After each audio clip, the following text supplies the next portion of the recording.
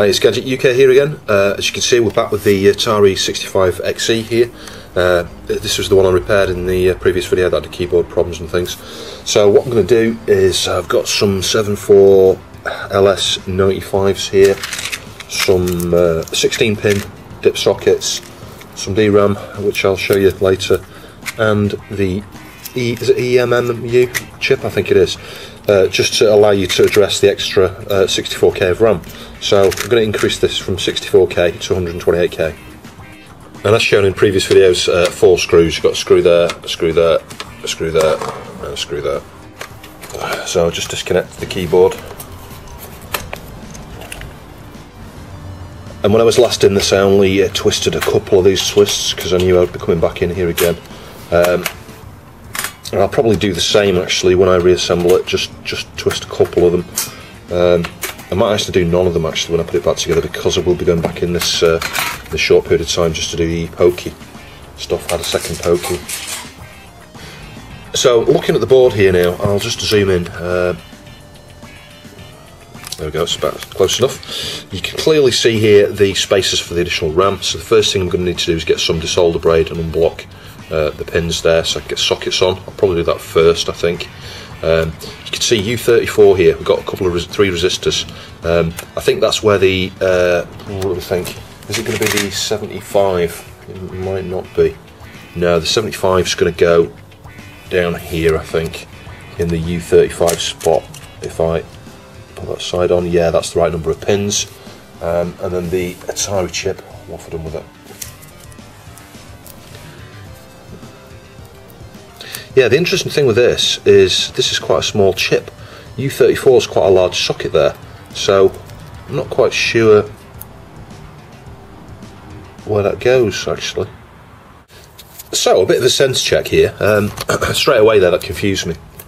I was under the assumption from something I'd read that we would need to put uh, a 74 LS95 down here um, and then this Atari chip or a GAL. Um, I think that's where I'd previously read when I was looking into these things a few years back, I remember finding an article suggesting that you could program a, a GAL or a PAL, I think it is, it might be, um, and stick it in this slot here. Um, and it was it filled the you know it was the same size package as the the dip profile there, but as you can see, this Atari part number here, and it's uh, C025953-20. Um, it's supposed to go in here, U34, but obviously it's smaller. So I mean, yeah, my first thought was okay, it's left aligned, but then is it the right chip? You know, because it is a larger profile socket there. Um, so, like I say, coming back to this here for just zoom in, I've just went looking for um, photos of the one six, uh, sorry, the 130 XE board because that's a, a, good way of uh, checking this. Um, yeah, you're not going to be able to see very well, but you can see the chip doesn't fill the profile there. So yeah, that's the, the Atari part number does go in that uh, socket there, left aligned, you know, aligned to pin one, um, and there's nothing down here in uh, U35, which is interesting. Um, so I mean, bear in mind it's a, you know it's, it's, a different revision board. It's not got some of the components. Um, yeah, it's not got all of the same components populated. Strangely enough, I don't think it's got that chip there, which is uh, yeah, that one there, which is a bit weird. Um, but it is. I think this is probably a, a, the American version. Um, so um, yeah, I think I'll start by socketing up, uh, getting some sockets here for the, the, the DRAM, um, and we'll get a socket in there, remove those resistors. I'll make a note of where those are, I'll take a photo, just because I might have to put them back in if I, you know, if I can't get this chip working. Um, it's supposed to be new stock this, but uh, yeah, we'll soon find out. And then we'll just see what happens. I'm not sure I'm going to be able to test it at this stage. I can go into the memory test, you know, the standard built-in self-test thing, see if that shows any different difference in behaviour. Um, that might be a clue because um, I've not got a tape port or a disk drive or anything for this, but I have got a disk drive solution coming on the way actually, which will be a, a future video. So there we go, uh, all the solder is unblocked. Uh, yeah, the board's a bit of a mess just because it's dirty. Once it's been cleaned up, it should look good as new. So looking at the top side of the board here, you can see there's bypass capacitors um, to the left of each chip. You can see there C120, C119, 18, 17, etc. So I've unblocked the holes for those as well. Um, at this stage, what you can do is just put it up to the light and actually look through, just make sure you can see through all of the holes there. Um, but it looks okay. I don't need to take any more solder off this side. It's all come off with the solder pump, you know, via the other side of the board effectively. So yeah, just make sure you brush it down. Um, but we'll get the sockets on there, um, clean it up, brush it down, inspect it because you can get bits of particles of solder everywhere when you're using a, a desolder pump like I am, um, and um, get the caps and the, the sockets on there. Um, I'm not sure about the cap size. I might just uh, have a quick look at the schematics actually to work out what size these are here. They're going to be something like uh, 0.33 uh, microfarads or something, you know, um, something around that. Maybe 100 nanofarads. So here's just a part way. Uh, one thing I will point out, when you stick these sockets on, um, first of all solder one corner and then the other, and then just inspect it from the top to make sure the socket's totally straight, because you can see that, right? That's, that's about as straight as the other two, but you can have them like that I don't know you can see just tilted down towards this end slightly or that way. You know, you've got a little bit of movement there. So as you get the first one on, let's say, make sure it's totally straight with regards to the chip to the left, uh, and then repeat for each one. You know, just let's say just tack the corner points and just make sure it's totally straight. And if it's not, just heat it in the on the one corner where it's you know it needs an adjustment, and then just straighten it up. Um, and then solder the remaining pins. I've done those two in entirety. I'll show you one or two as I get towards the end there, but it's not taking very long. It's taking about a minute to do those two. So here we go. This is the last socket going on. Uh, just solder one corner, leave it for two or three seconds. Bear in mind, I'm not using a temperature controlled iron here. I'm just using uh, a cheap C-class 15 watt iron. Uh, tack the corners. We'll inspect, make sure it's straight yeah, it's not quite straight. I just need to heat this pin and pull the chip with my finger on the other side down a little bit.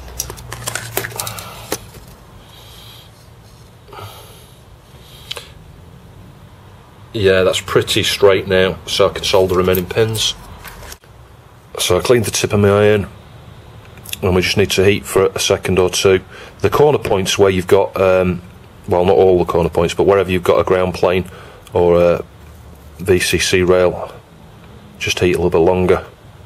Typically, what I'll do is I'll go across, and you see me going forwards and backwards on some of these actually, just to equal the size of the solder on there, um, just to make them a bit cleaner.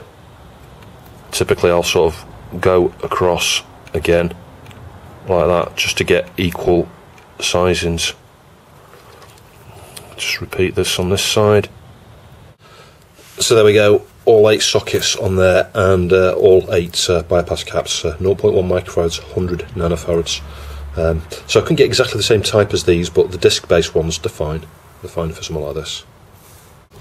So my favourite bit now, cleaning up uh, with cotton buds and uh, IPA. Uh, lint-free cotton swabs, your best bet, really. I'm going to get loads of strands of cotton on here, but I'm not going to bother because I'm going to be brushing it down in a minute. I'll pour some IPA uh, you know, fill a couple of caps of IPA, pour it uh, over there, and brush it down. Um, and the final thing is just to inspect it with a magnifier, just to make sure you've not got any shorts or anything anywhere, that the solder points look alright and none need touching up, and that we've not got any particles of solder uh, stuck on there. Sometimes they just stick on the PCB, they might not be stuck on a trace or anything, but they can just stick on the PCB, and if you don't uh, get rid of them, eventually they'll fall off and could cause you problems. But yeah, it's really mucky. This is just covered in flux. But by the time I'm done, it should uh, be good as new. So that's after a few passes with two or three different cotton buds. Uh, got most of it off. Uh, and as I say, what we'll do now is just uh, pour a bit of IPA over there. Not worried about going all over the place. Uh, yeah, and do a bit of this. Tilt the board at an angle just so you can, uh, you know, pour off the IPA and just repeat a few times and it should come up super super clean.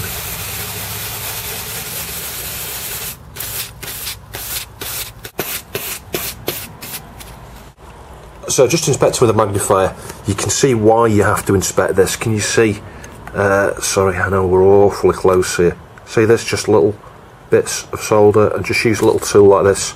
The brush didn't get them off I can get them off and then just brush it down clean it up re-inspect but you get them all over the place where you've used uh, a desolder pump. You know you don't want to scratch the board but you can just so let's say just touch them and come off.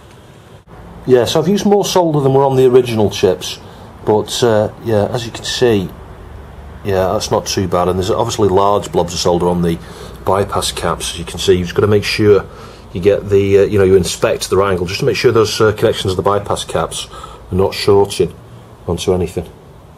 So rather than take a picture, actually, I thought I'd just film up close. It's just as good for my purposes, just so I can see where those uh, components, you know, little resistors, uh, go there. They're probably just like zero ohm or something. I'm not sure. They're going to be very low resistance, I think. Um, but yeah, there it is. So I'll remove those, get a socket on there, um, and get that new chip on. You could put a 14 pin socket on there, left aligned, you know, to pin one. Um, but this trace here is used. Uh, I think there's one there as well. Yeah, I think so. It looks like it goes to that top one. So there are two connections here on the top side that are used on those six pins, um, although not with this chip. I just wonder if Atari did that to support maybe another future model. Maybe it will go up to. Um, 256k or something. I've got no idea. But in any case, I thought I'll fit this one just in case I decide to swap out that chip in some you know point in future and replace it with a GAL or a PAL or something else. At least I've got the right size socket there. I don't have to remove the socket and put a new one on. So there we go, socket soldered on. Uh, I can now get the chip in here.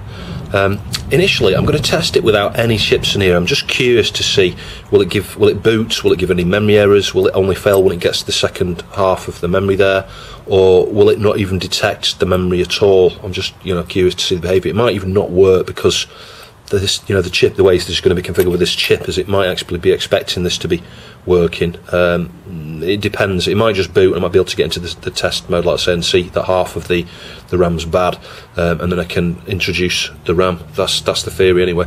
Um, now it's worth noting there's different ways you can achieve something like this. You don't necessarily need to go this route to upgrade one of these the memory on one of these uh, 65 XEs this way. Um, there's probably better ways and easier ways of doing it. One of them is, uh, and I'll post a link down below. on the Lotharek website, you can buy an upgrade module, um, and I think it. I think you remove the CPU. Uh, I don't know where the CPU is on this one, uh, but you remove the CPU and I think one of the ROMs, um, and stick, uh, uh, you know, a couple of like little socketed things in there with an adapter, and you've got a little PCB that sits somewhere that gives you, I think, like a meg or more. Um, I think it's a meg. I think it's a megabyte. Um, so if you do that, yeah, you've got to remove a couple of the larger dip chips, you know, the sort of 40 pin ones. Uh, but it's probably easier than trying to desolder, you know, clean up all the, uh, you know, the, the, solder positions here, stick all the sockets on, stick all the caps on, stick on, you know, stick a socket here, you know, blah blah blah. There's an awful lot of work to do this, but I quite, quite like doing upgrades like this. It's kind of therapeutic, really. I've really enjoyed uh, expanding this by 64k. Um, and at the same time is I will get the one meg RAM upgrade because uh, you can you know that will work with the 130 you know the 128k or the 64k models as well the RAM the RAM upgrade that Lotharek sells. But it's always nice to have a fallback you know say for instance something went wrong with that RAM upgrade when I get it in future I can always just remove it and touch wood have the 128k at least on the board. Um, so you know I like to just cover things from that angle really. It's always nice to have uh, different options so it booted straight away there without that uh, additional 4164 DRAM. So uh, that's a good sign. And I've got straight into the uh, self-test here by holding on the option key on from a cold power-up. Um, and we'll just let it go through the RAM. I'm just curious to see whether we get any indication, because I don't know whether that RAM test is only going to go through and test 64K, or will it detect that it should have 128K because I've added that little uh, Atari uh, eMMU chip there um, and will we see some failures halfway? Um, I'm hoping so. I'm hoping we do see failures because it's a good way of being able to test this before and after I've added the RAM. But also, it's a good way to be able to test DRAM. Now, it might not be um, very conclusive. It's not the ideal way to test DRAM, but I've been looking for something to test 4164 chips for a while.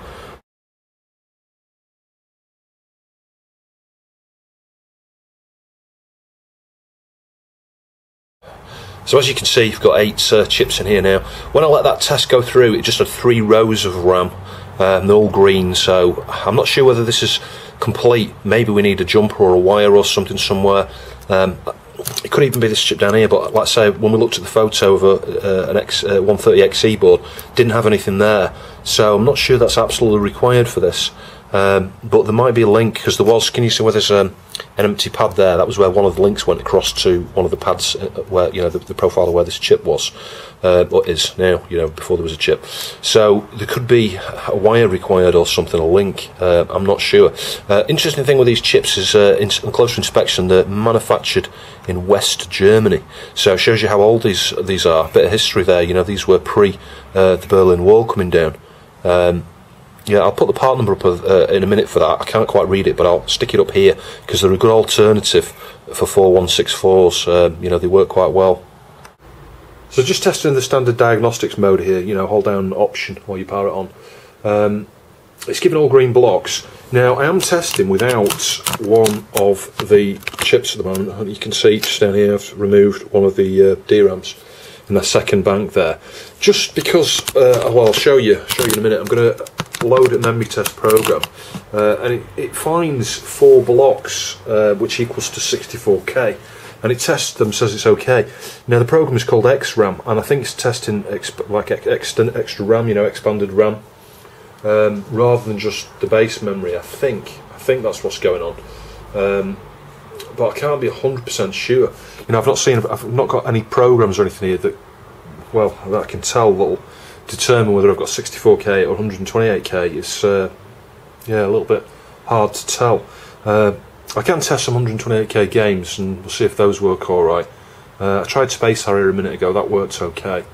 Um, but I'm just not 100% sure. So I'll wait for this to go through to completion, then I'll show you that uh, test program in a minute. Yeah, that didn't give me any errors, so um, I'll test it with the program now, I'll show you. It's loading that now. Um, so you can see it's you know it's a bit cryptic as to what's going on here. Um, oh, so have a good point just uh, down here. It's we've got four banks uh, equals 64k. So uh, and it does say extended RAM test. So this is presumably has actually detected I've got 64k there. And if I press A to do all, it seems to them in four banks as you see the cursor move across, and then you get a zero. Presumably that means there's zero failures uh, and you know it keeps going through those four banks there and then it'll flash green at the end just watch it does it real quickly. It'll say okay test done. So I'm assuming that's given me a you know a bill of good health there. I think um, let's just do that again let's hit A. I'm assuming that it's detecting the 64k because that's the way it logs from four banks equals 64k um, and then it's going through those four banks and we're just getting zeros. And at the end it flashes green just briefly for a second and says done test's done, and that's it. So I'm assuming that's that's it. It's as simple as that. Um, I'll load some 128k games and uh, let's just give it a test.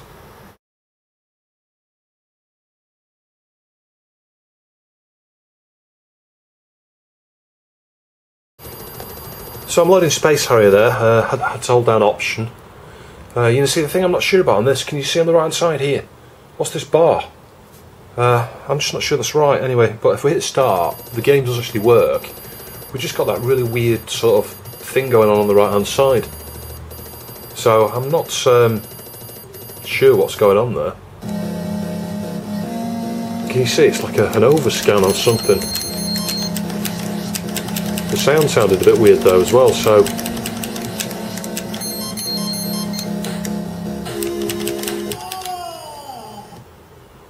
weird.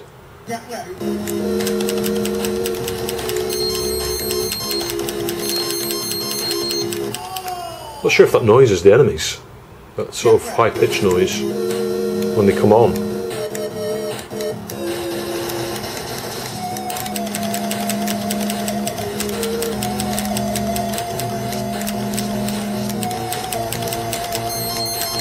Yeah, they seem to make that noise when they come past.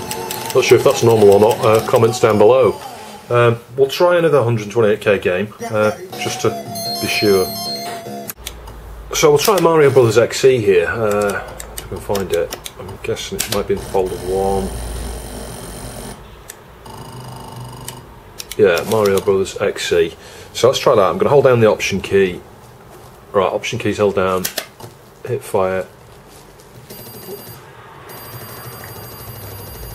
Final version for 130XE. So you would think if uh, this was working, this game should work. You know, if the RAM was right, this should work.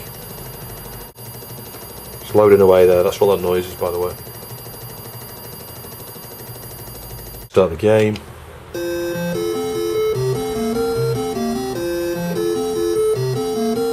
So I've got press select for number of players. Uh, we don't want to do that. Option select level. And we just press start. Yeah.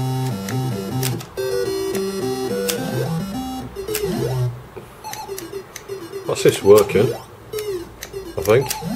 Granted, it's a bit slow. This is a 128k game. You can see it's working fine. I played the first few levels here up to level 3, I think. I'm just on a bonus round. Um, it's a bit slow this game, but it's, uh, yeah, it's not bad. It's playable. Yeah, so I think it's working okay in 128k. Uh, I'll just see if I can find another 128k game just to be sure. Thing is, this is Bug Hunt. I'm not sure whether this should work or not. From looking at the guides, it seems to suggest this needs an extra 64k, uh, blocky or banky or whatever. Um, and this this is what happens. You know, this is withholding an option to uh, you know disable basic. So you know that's not working. Should that work? Does anybody know about that particular game? Um, I don't know. I'll try another game, but that, that, I've tried that a few times now, and that's that's the behaviour I'm getting with that game. I think it's the files themselves. I think .bin. You know that .bin. I'm not sure if that's a cartridge image or something. I'm not sure it does, you know, it obviously it appends its own loader or something because when it boots up, it does say it's, uh, it's got some sort of loader attached to it. And I'm just wondering if that's the problem with that game. I wonder if I loaded that on a, one of those side carts, whatever they're called, um, stick it on ROM, you know, to boot it from ROM. It might be all right. Uh, please, uh, as I say, please post in the comments below. Um, I'll try some just normal games and stuff on this now just to make sure it's working. But there's several games I've tried. I've had no problems with this. Just the, the few um, of these 128k ones and typically the ones that haven't booted have been these dot bins. Uh, so I'm not sure. Um, could even be just corrupt ROMs or something. I'm not sure.